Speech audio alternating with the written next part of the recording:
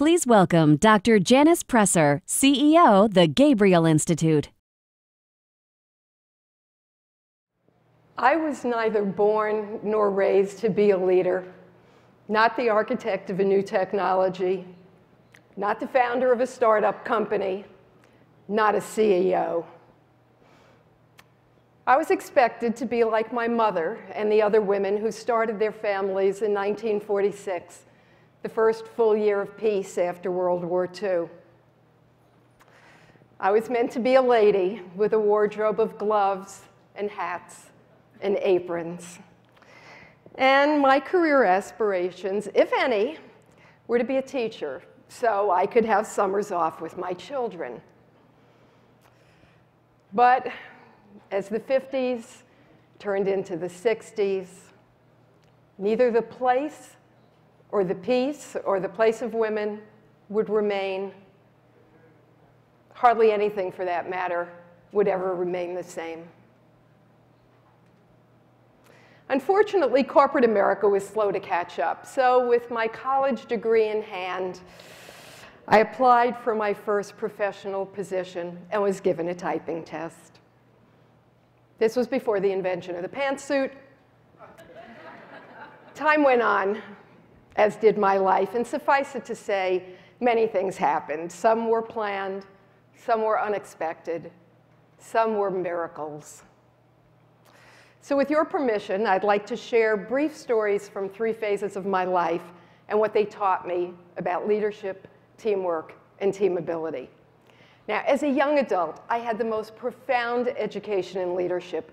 My teacher was Andrew, my firstborn, and he taught me things that I could not have learned from books or coaches. And I didn't have to wait very long for my learning to begin. It began at his conception. See, while marriage is an intimate partnership, it doesn't prepare you for an entirely new kind of relationship that you develop with a human being who's growing inside of you. There's the figuring out what of you is you and what of you is this other person, and the realization that sometimes you're in sync and there are other times when you're not. Now, then, before you know it, you're clearly two separate people, and you have to begin again, bridging all your differences. Uh, for instance, Andrew was born speaking a completely different language. It consisted of about a dozen versions of crying. Now, I had a huge vocabulary of words, but I didn't understand crying at all. I dearly wanted to teach him my language, but I soon realized that before he would ever understand me, I would have to find a way to understand him. It was like learning to dance, and you know, he gave me lesson number one. If you want to lead, first, you must learn to follow. Another thing that Andrew taught me, just by being there, is that a third person has a profound impact on the relationship between two other people. Now, for those of you who are parents, I don't have to explain it. For those of you who aren't, I don't know that I ever could. Just take my word for it. When people are in each other's presence, lots of things are going on between them, even when there's no eye contact and no words are being spoken. You know, if you're trying to lead, it helps to be really clueful about what's going on at every level. So, having received my leadership certification from Andrew, I felt ready to be one in the big world. And I did it by running and later by starting several volunteer organizations. You know, I had not been raised to be a CEO, so I didn't realize you could actually get paid for doing this. But I did learn a lot of things about business and management, including the one skill that really enabled me to make it as an entrepreneur. I got really good at getting people to do stuff for nothing.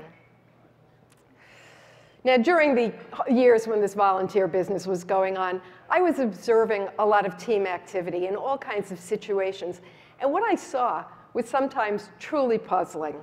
I mean, why, I wondered, did the presence or absence of one specific person seem to have such an outside impact on the team? Why did some people handle team upsets so calmly while others went completely off the rails? And what was behind the nitpicking and the backbiting on a team when everyone had said that their reason for being there was to be part of a team that helped and supported people? I began to think that there was a lot more teamwork than just people and job titles. See, people bring their intellect, their personalities, their knowledge, and their experience to teams, and those things are important. I knew there were ways to measure and evaluate, evaluate those attributes, but I wanted to know was there a way to understand and measure the quality of connection or collaboration that a person or a team was capable of generating?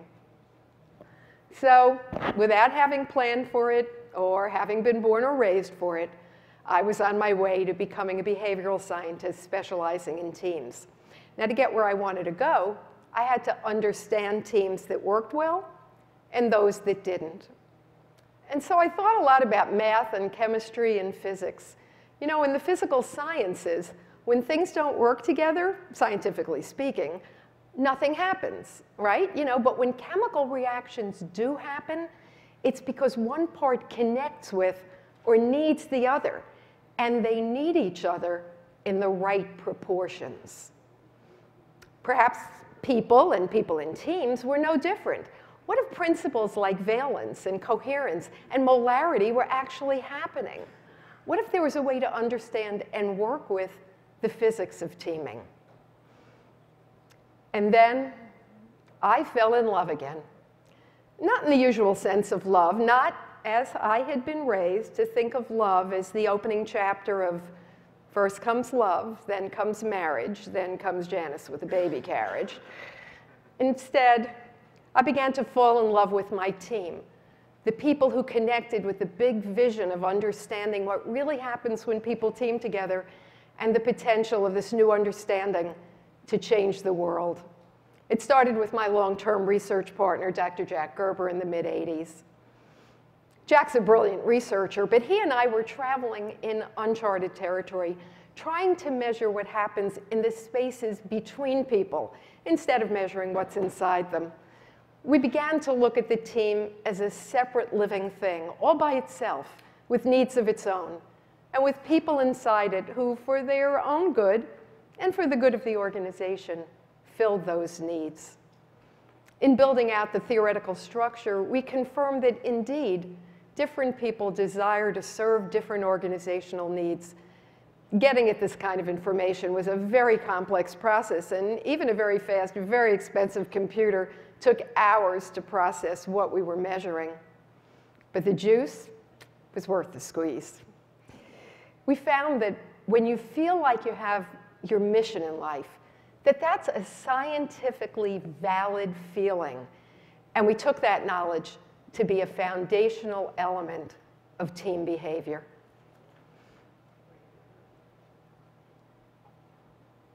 We called it role with a capital R.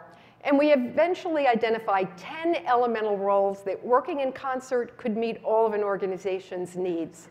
And we knew with all of our love of science that identifying and understanding a person's role could be invaluable to management in selecting team members and assigning job responsibilities, and also to individuals in choosing a field of study, a career, even a life partner.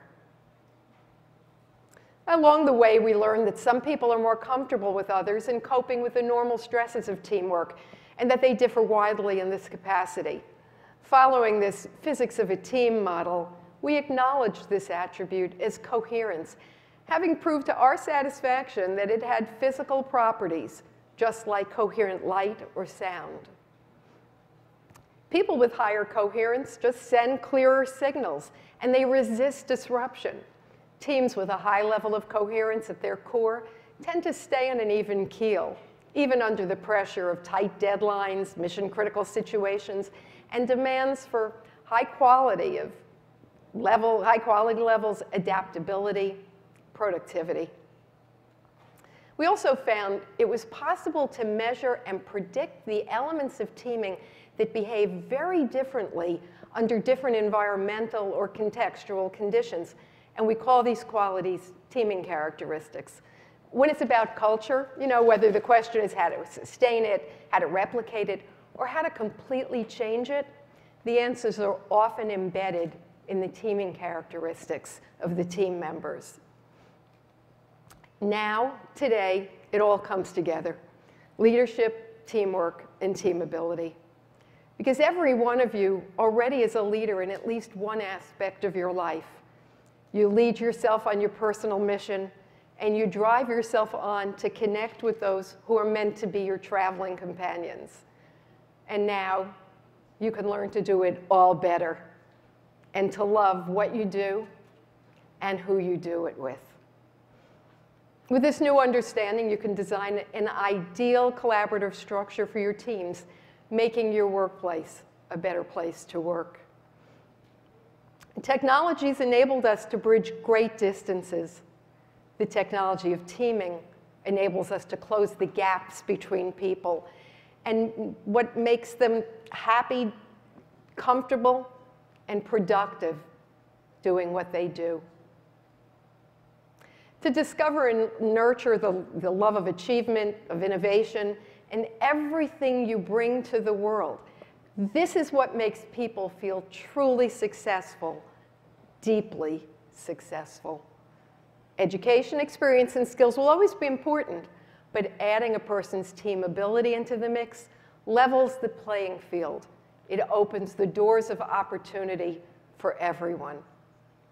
You don't even need the technology of team analysis or the, the, team analysis uh, pilot to begin the transformation of your team or yourself.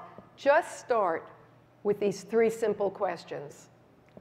Are you doing enough of what you like? Are you doing too much of what you don't like? And what can we do together to change things and make them better?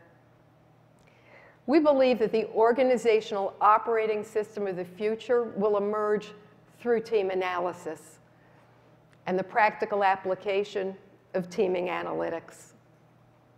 Its methods will be intrinsic to the true social nature of team interaction. We have big spaces to fill and important work to do. And so with your permission, I'd like to bless our work together